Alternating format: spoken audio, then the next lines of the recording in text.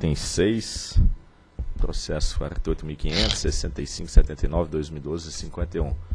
Recurso administrativo interposto pela Cooperativa de Energia Elétrica e Desenvolvimento, SOMAR, em face de decisão emitida pela SGH, que homologou os parâmetros necessários ao cálculo da garantia física de energia da Central Geradora Hidrelétrica API. Diretor relator, doutor André Peptoni. A Central Geradora Hidrelétrica API foi registrada na ANEL pelo ofício 996, pelo fato de ter menos de 1 megawatt, então objeto de registro, ofício de 2008. E pelo ofício 206 de 10 de dezembro de 2002, o Departamento de Planejamento Energético do Ministério de Minas e Energia solicitou a homologação dos parâmetros necessários ao cálculo da garantia física da CGH API. Pela nota técnica 615, a SGH validou os parâmetros da CGH API. E em 20 de dezembro, a SGH emitiu o ofício 2585, por meio do qual encaminhou a nota técnica 615 para o Ministério de Minas e Energia, bem como notificou a interessada dos parâmetros validados. E em 14 de maio de 2013, a interessada interpôs recurso administrativo contra o ofício 2585, pelo fato de questionar a série de vazões médias mensais propostas pela SGH. Quanto à série de vazões, a nota técnica da SGH assinala que a interessada utilizou resultados de medição, medições oficiais para estabelecer a série de vazões da usina. No entanto, a estação fluviométrica denominada TUV não possui boa correlação com as outras duas estações utilizadas, seria Catas Altas e Capela da Ribeira adicionado que de que a empresa interessada não realizou o transporte de série de vazões do poço-chave para o sítio da usina. Segundo a recorrente, não há menção da metodologia utilizada pela SGH para a geração da série adotada na nota técnica 615.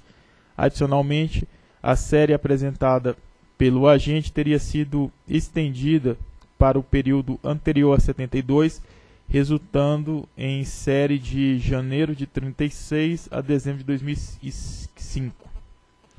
Aduziu ainda que o posto turvo foi utilizado exclusivamente para preenchimento de falhas nos meses de fevereiro de 2011, agosto de 2011 e setembro de 2011, período de dados não disponível no posto Capela da Ribeira, o qual foi utilizado prioritariamente para o preenchimento do posto base Catas Alto, que possuía a melhor correlação.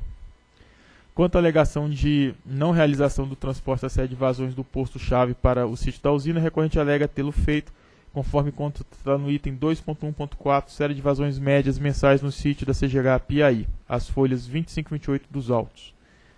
Transcorrido o prazo para o exercício do juízo de reconsideração, a Secretaria-Geral solicitou o encaminhamento do processo para sorteio de relator e em 21 de outubro de 2013 fui sorteado relator da matéria, o relatório.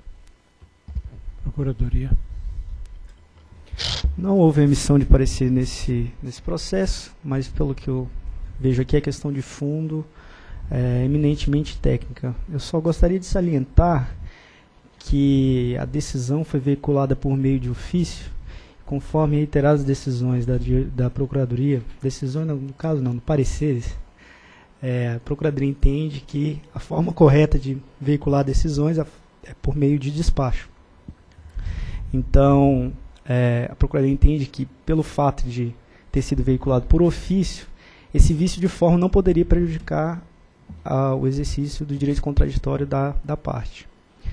Por isso, apesar de ter sido o recurso ter sido interposto aqui num prazo de quase quatro me cinco meses, né, entre a do ofício para o recurso, entende que não que deve ser recepcionado o recurso administrativo interposto pela parte. Nos termos do artigo 48 da resolução 273, o prazo para interposição de recurso é de 10 dias.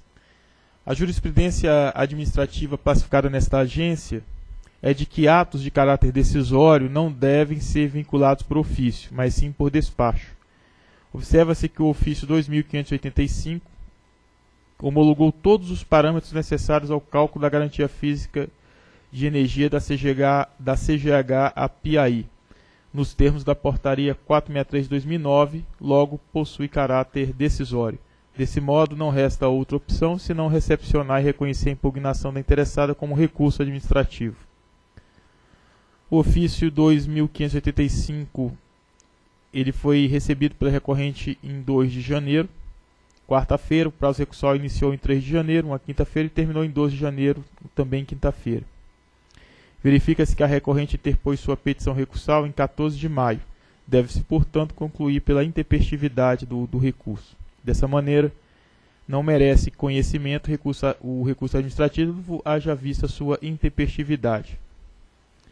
E aqui eu pulo para o parágrafo 20, onde aponto que mesmo sendo intempestivo, tem que se fazer um juízo aqui de legalidade para avaliar se convém ou não avançar aqui no, nos objetos, da, nos fundamentos que levou à decisão. E no caso dos autos, verifica-se que a fundamentação da nota técnica 615 não é exaustiva tanto para rejeitar a série de vazões apresentada pela recorrente, quanto para estabelecer a série de vazões alternativas elaborada pela área técnica.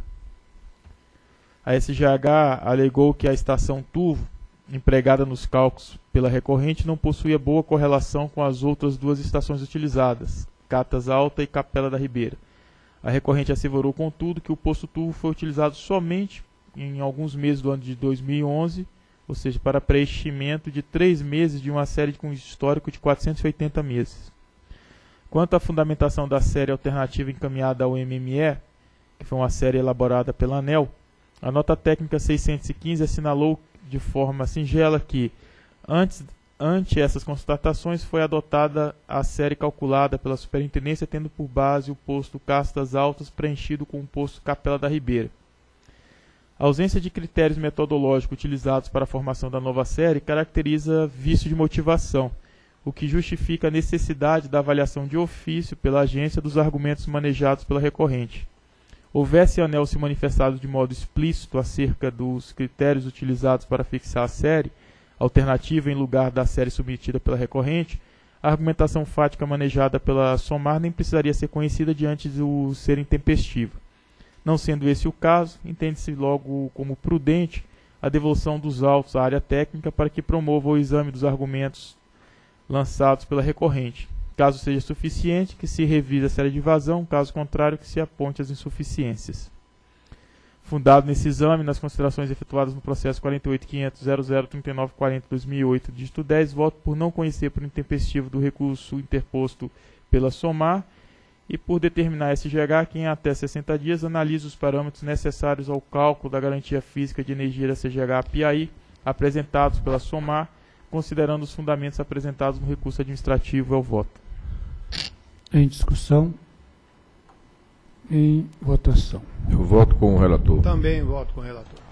Também voto com o relator. Proclamo que a editoria decidiu por não conhecer, por intempestivo, o recurso administrativo interposto pela cooperativa de Energia Elétrica e Desenvolvimento, SOMAR, com base no ofício 2585-2012, emitido pela SGH, que validou os parâmetros é, para o cálculo da garantia física da CGH API e determinar que a SGH, em até 60 dias, analise os parâmetros necessários ao cálculo da garantia física de energia da mencionada CGH apresentados pela SOMAR, considerando os fundamentos apresentados no recurso administrativo. Próximo.